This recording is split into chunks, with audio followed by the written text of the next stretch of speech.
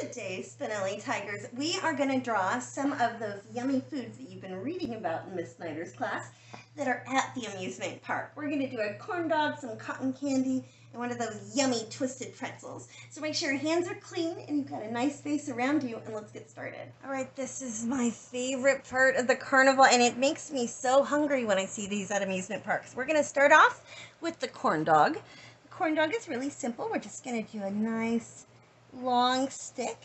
And then we're going to do a long oval all the way around the top.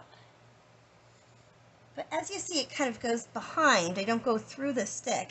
And then on the top here, we'll just do a little arch. So it looks like the stick is going right into the corn dog. And then we'll just make a little C there because it's all shiny and yummy and cooked and golden and wonderful.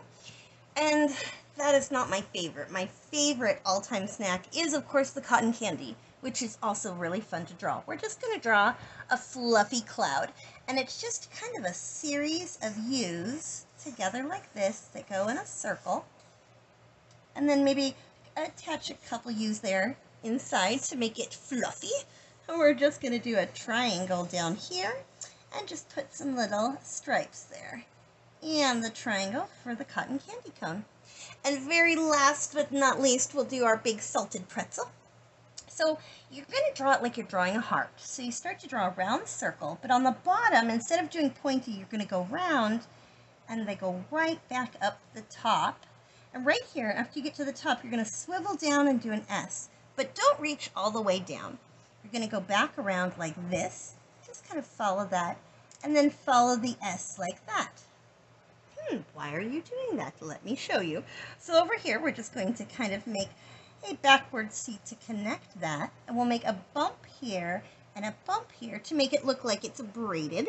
And then you just put the end of the pretzel line there, the end of the pretzel line there, and give yourself some pretzel salt.